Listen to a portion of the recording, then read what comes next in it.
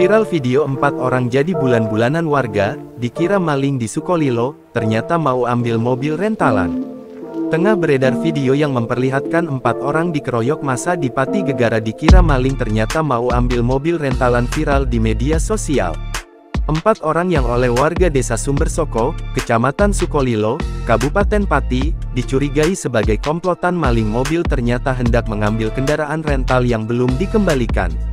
Hal itu disampaikan Kasat Reskrim Polresta Pati, Kompol Muhammad Alfan Armin kepada tribunjateng.com, Jumat tanggal 7 Juni tahun 2024.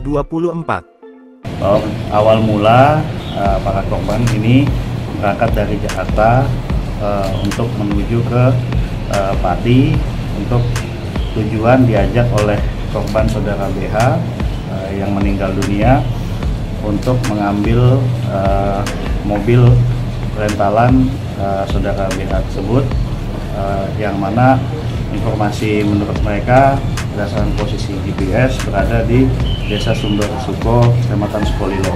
Diberitakan sebelumnya, empat pria dihajar masa sampai babak belur, berdarah-darah di Desa Sumber Soko karena dicurigai sebagai pencuri mobil, Kamis tanggal 6 Juni tahun 2024 siang.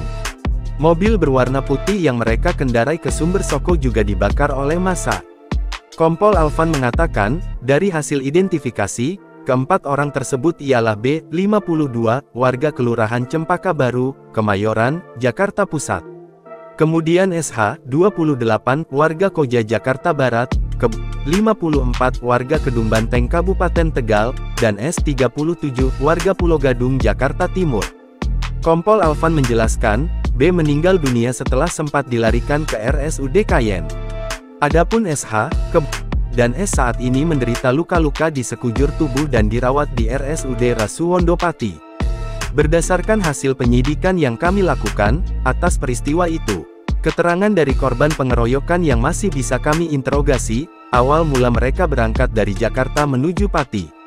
Diajak saudara B untuk mengambil mobil rentalan milik saudara B, kata Kompol Alvan kepada tribunjateng.com, Jumat tanggal 7 Juni tahun 2024. Berdasarkan pelacakan GPS, mobil tersebut berada di Desa Sumber Soko, Kecamatan Sukolilo, Kabupaten Pati.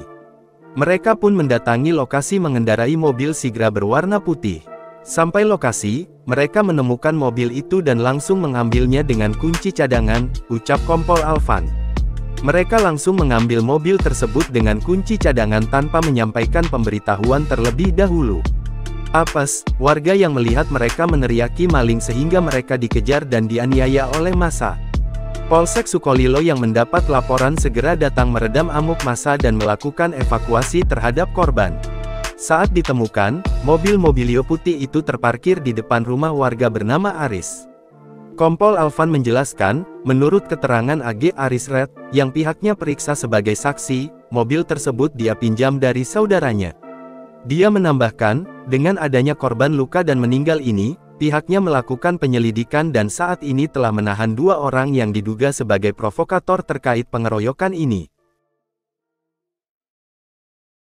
Download Tribun X sekarang, menghadirkan lokal menjadi Indonesia.